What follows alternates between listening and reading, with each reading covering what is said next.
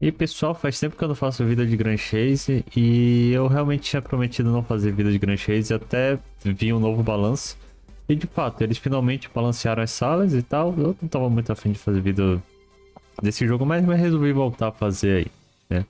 Uh, eles estão fazendo bastante campeonatos de PVP e isso é uma coisa que me atrai bastante.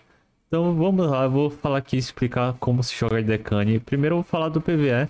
É, vou falar de PVE e PVP. PVE é bem simples, é só você pegar uma build e jogar tranquilo. Mas se você quiser aprender mais coisas da Decane, como movimentação e tal, eu vou ensinar isso daqui, tá? Então se você é do PVE, também fica aí para poder assistir e aprender a se movimentar com ela, se você não souber.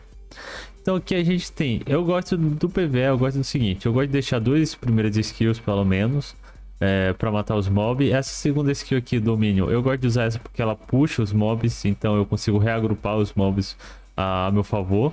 Essa daqui, a proteção de absorção, ela é crucial, ela é importantíssima, você tem que ter ela, ela é o skill mais importante da Decane. Você vai te manter vivo, vai te restaurar todo o HP. Depois a gente tem aqui uma terceira skill que dá muito dano, essa daqui. E aí você pode ter uma segunda, terceira skill ou quarta skill, né? Se você não tiver quarta skill, você vem aqui e coloca corte cruel também. É uma skill muito boa. É só um adendo que se você quiser carregar seu amigo para matar mob, coloca essa skill daqui, a do meio, tá? Que essa daqui custa 2 barras, essa daqui custa 3. A diferença é que essa daqui vai dar um pouco mais de dano, mas não acho que seja um dano que compense para gastar 3 barras. E aí você usa a segunda skill aqui e você mata um monte de mob em área. Essa daqui não compensa muito a... Não. Não recomendo colocar ela. Então, essa daqui, liberação limitada massacre ou corte cruel, tá bom? E aí você vem aqui nas passivas. Cadê?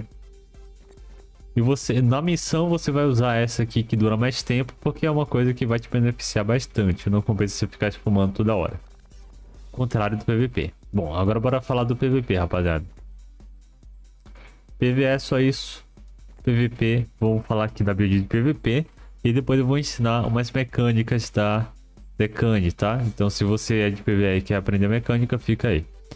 Bora lá. PVP são duas coisas aqui que importam. Primeiro, a primeira skill que a gente vai querer na primeira barra é a domínio. Porque é a que você vai usar quando você carregar a mana, tá? Depois é sempre bom você ter uma dessas aqui, tá? Eu gosto mais dessa, mas essa daqui também é muito boa, talvez até melhor. É, e eu particularmente não sou muito fã dessa aqui, justamente porque a do meio aqui já faz o papel e tal, então não precisa. Essa daqui tem uma área maior, porque ela pega para os dois lados, enquanto essa daqui é mais para frente. Pega um pouquinho atrás, mas é mais para frente, tá? Então é só essa diferença, não tem tanta diferença se você usar qualquer uma das três não. Na prática não faz muita diferença. A segunda skill que você vai precisar é a chama amaldiçoada nível 1, tá? Tem que ser nível 1. Deixa eu ver se é nível 1 mesmo. Causa rajada. Não, desculpa, nível 2. Porque essa daqui é de única rajada, ou seja, dá um hit só. E ela dá um hit bom, ela é 1k de dano. Isso pode gritar. Pode chegar até 1k e 700 de dano se gritar. Então essa é uma skill. Toda skill que dá de um, de um hit só, ela é muito eficiente no PVP. Então assim, toda skill de um hit só, tenta dar uma, uma priorizada nela e compensa bastante. A segunda skill é essa daqui, o vazio, o nível 1, tá? Porque, porque essa nível 1, ela dura mais tempo. E aí, qual é o lance? A nível 2, ela dura menos tempo, mas ela dá uma explosão no final, dando 800 de dano. Isso é bom também. Só que a nível 1, ela dura muito tempo e você consegue dar o spawn kill. Ou seja, o cara nasce e você consegue usar isso daí, pegar ele sem MP e você consegue tirar a vida toda. Porque no PVP existe a queda chase e a queda chase é resetada quando o cara recebe dano de skill. Como ela dá vários hits, então ela reseta essa queda chase muito rápido. Então ela é muito boa para você dar é, 100 0 em uma pessoa. Então tipo, você consegue matar ela definitivamente. E a última skill já é um pouco de gosto, tá? Porque essa última skill, ela é, ela é boa, mas não tão necessária quanto as outras. Você pode usar proteção para dar um sustain ali no meio do jogo. Ela é um pouco arriscada de se usar, ela é muito 880, ou ela funciona bem ou ela não funciona bem, e aí você gasta duas barras bem usada ou inúteis. Você tem também a Corte Cruel, ela é boa porque ela pega praticamente no mapa todo, tá? Então ela é muito útil. E aí você fica mais ou menos entre essas duas skills, tá? Vai do, do seu gosto. É, você também tem é, a Strap Sombria. Ela é boa porque ela pega em área, ou melhor, pega os caras longe, pega em área também, e ela dá uns choquezinhos. Então, ela é um pouco relativa, tá? Não funciona todo caso, mas ela tem seu potencial aqui de ser boa também, tá? O ruim é que ela dá pouco dano só. Então fica entre essas três aí, tá? Recomendo você pegar, na dúvida você pega corte cruel, mas se você já tiver um pouco mais de experiência no jogo, você pode pegar proteção também. Bom, quando a gente vem aqui para passiva, diferente do BB, a gente vai querer pegar essa do tipo B. E eu vou mostrar aqui na prática por quê, tá? Então bora lá na prática. Você vai perceber. Este Então é o seguinte. A tipo B, ela carrega mais rápido. E por que que isso é importante? Porque quando você usa ela, quando você usa ela, você fica aqui, ó. Você vai usar ela e você vai ficar invulnerável. E você vai dar esse hit. Esse é um hit relativamente bom, né? Dá um daninho bom, 300 de dano. E o mais importante, você fica invulnerável no momento que você usa ela. Então você pode usar ela para escapar de situações, né? situações onde você consegue atingir alguém. A super armadura dela é, é importante, ajuda no jogo, mas não ajuda mais do que você ficar spamando essa, esse X dela, tá bom? Então vamos para a mecânica dela. É, como eu tô gravando de noite, eu vou postar o, a imagem da mão separado aqui. Eu vou mostrar como é que eu clico, tá? Então, se liga, para fazer esse dash da Decane, esse é, é um dash muito importante. Você tem que apertar as três teclas ao mesmo tempo, assim. Como é que eu uso esse dash? Eu uso três dedos, tá? Mostrando aí na, na tela. E esses três dedos eu começo a clicar num tempo. Então você clica mais ou menos tempo 1, 2, 3. 1, 2, 3. Então você vai clicar só que um pouco mais rápido. 1, 2, 3. Então você vai clicar um pouco mais tarde, mas você não pode metralhar, porque senão não sai. Você tem que apertar num tempo tal. E aí eu uso para a esquerda, eu uso esses três dedos. E para a direita eu uso esses três aqui. E aí eu consigo fazer o dash dela, tá? Então esse é um dash muito importante. Bom, outra coisa para PVP que eu esqueci é tirar esse essa, esse ataque no pulo para baixo. Pratica, particularmente isso daí é um negócio que atrapalha bastante, tá? Principalmente em algumas movimentações, principalmente que você vai apertar baixo Z, você pode acabar usando sem querer. E não é muito, muito útil você usar isso daí não, tá? Bom, você praticando o dash dela, uma hora você vai ficar bom com ela. É bem simples, depois que você pega a prática. É só ir praticando, uma hora você vai conseguir fazer bem, tá? Bom, agora a gente tem essa subidinha aqui, ó. Percebeu a subidinha aqui? Qual a diferença? A diferença é que na hora que eu for apertar para a direita, eu não vou apertar do jeito convencional. Depois que você aprendeu a fazer o dash dela, você vai apertar o cima com mais frequência. Você vai continuar fazendo dash, só que eu já mudo um pouco a posição do meu dedo. Eu já faço isso daqui. E aí, e na hora de subir, eu só metralho pra cima um pouco mais. Eu metralho pra cima um pouco mais. Então eu aperto pra cima com mais frequência do que aperto o baixo e frente. Eu tento apertar o baixo e frente na mesma frequência, mas o pra cima eu sempre aperto com uma frequência maior, tá? Bom, e é mais ou menos assim que você faz. Você vai acertar quase todas. Eu também não acerto todas as subidas, tá? Fazendo esse método. Mas esse é o método que eu conheço pra fazer isso daí. E dá certo assim na maioria das vezes. Bom. Como é que você joga de decane aqui no PVP? A primeira coisa é... Se você pensa que decane é ficar spamando essa skill aqui, você tá jogando errado com ela. Por quê? Porque as outras skills são tão importantes quanto. Então você tem aqui esse D, ele dá 1k de dano tá? Você consegue pegar os caras desprevenidos, dá um, um dano legal. É, outra coisa, não é só spamar essa daqui, porque se você só spama essa skill, o que, que vai acontecer? Uma hora você vai estar sem MP para quando realmente precisar. E outra, você não precisa spamar ela pra dar dano. Você tem o dash dela que chega perto dos caras. E você pode dar ó, cima Z, baixo Z. Ou então, você dá o corrida Z mesmo e continua. Outra coisa importante nesse corrida Z é que para você dar ele infinito, você não tem que apertar o mais rápido possível, você tem que apertar no time. Se ele tá muito alto, você demora um pouco mais para apertar. Se ele tá muito baixo, você aperta um pouco mais rápido. E aí, no time certo, você consegue fazer infinito no canto.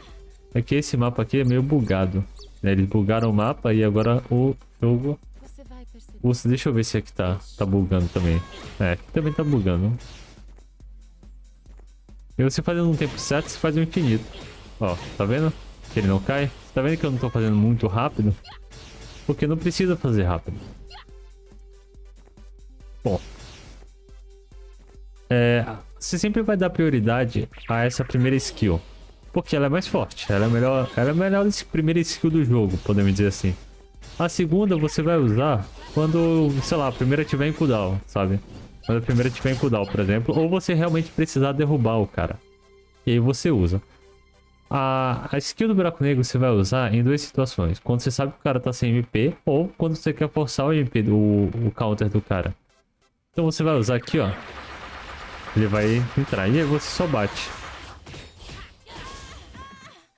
Bom, outra coisa importante é que o maior dano dela tá no critical, que é no fim do combo. Então você dá o ZZZ completo e aperta a frente. Na verdade é o double, tá? Não crítico. Crítico é quando você aperta a frente no meio do combo, assim. Eita. Nossa, nem sei fazer crítico, cara. Caramba, não sei fazer crítico. Aí, consegui. É que tem que parar de apertar ZZ pra dar o crítico, ó. E olha o dano que dá no crítico. 253, enquanto no double dá 500, tá? Então o double, você sempre dá o double, tá? Sempre muito importante. É, outra coisa, a Decane ela é ótima para dominar a plataforma. Então, esse daqui ó, tem um alcance muito alto, esse Corrida Z. Então mesmo eles ali, você percebe que pega, ó. Tá aqui. Pega. Então consigo dominar a plataforma. Eu consigo punir personagens que dominam a plataforma. E eu consigo subir aqui rápido também. Então ela é um... Então dominando esse dash aqui dela, ó, percebe que eu consigo subir aqui, eu subo geralmente vulnerável. E aí eu consigo punir a Bomber, por exemplo. Então ela é muito boa contra a Bomber é, não necessariamente você precisa caçar bomba se ela estiver se movendo muito pelo mapa. É um pouco exagerado você fazer isso, ainda mais se você estiver indo contra no X3, por exemplo, estiver indo contra personagens que conseguem te punir. Ainda mais se você estiver indo contra personagens que conseguem te bater enquanto você caça a bomber. Então você pode acabar fidando mais do que é, conseguindo matar a bomber, entendeu? Então tem que ter muito cuidado com isso. Bom, eu posso punir aqui quem tá aqui em cima, tá? Posso dominar, mas como a Decane é um personagem de dano, não é bom você ficar só aqui em cima dominando. Por quê? Porque a Decane ela é um personagem de dano, então assim, ela é boa para dominar a plataforma e bater nos caras. Não é dominar e ficar. É diferente, por exemplo, bater com o Maga. Você pode ficar é diferente da Holly que você pode ficar, porque são personagens que dão pouco dano, tá? Mas a Decane não. Se, se você ficar só fazendo isso daqui, você vai dominar, bacana. Mas aí você não vai ajudar nada no jogo.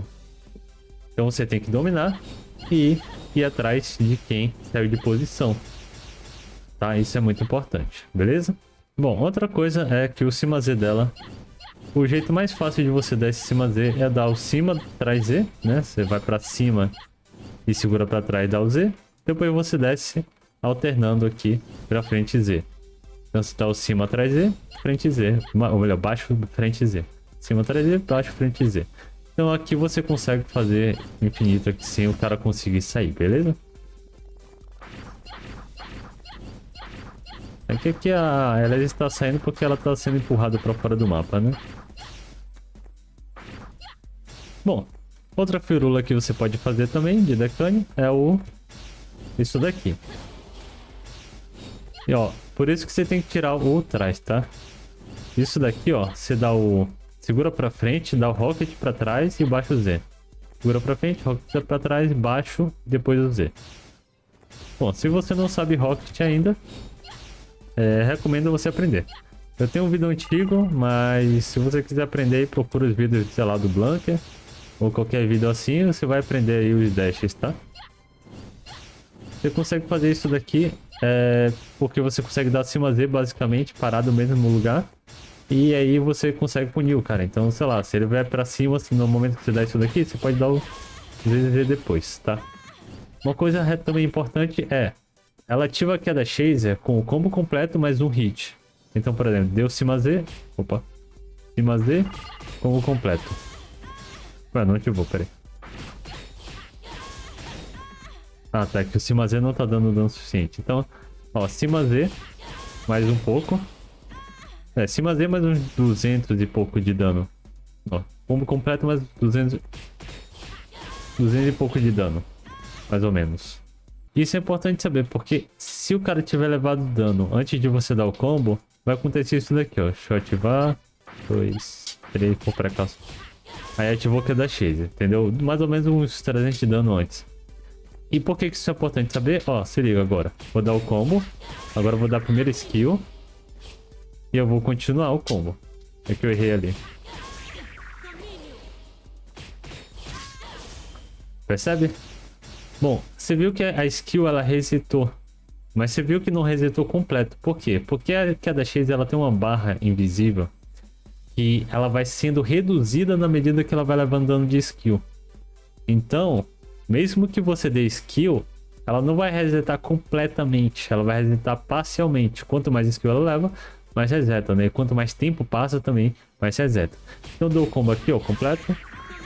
Ih, não, não deu delay. Pera aí.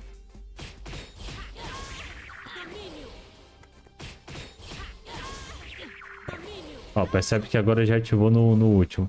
Resetou a barra quase, quase completa. Bom, então isso é importante saber para você dar, repetir esse combo aqui quando o cara estiver distraído. Ah, mas o cara pode dar counter. Beleza, o cara pode dar counter. Mas aí você usou uma barra e ele também gastou uma barra. Pelo menos uma barra, né? Porque se o cara dá counter, ele dá... Geralmente ele gasta mais de uma barra para dar o counter. Ele acaba segurando tempo demais. Isso daí é uma consequência mesmo do counter. Então tem essa, esse macete aí, tá?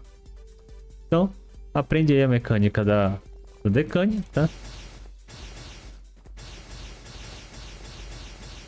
E o resto aí é mais noção de jogo que você vai aprendendo com o tempo, beleza? Então o vídeo vai ficando por aqui.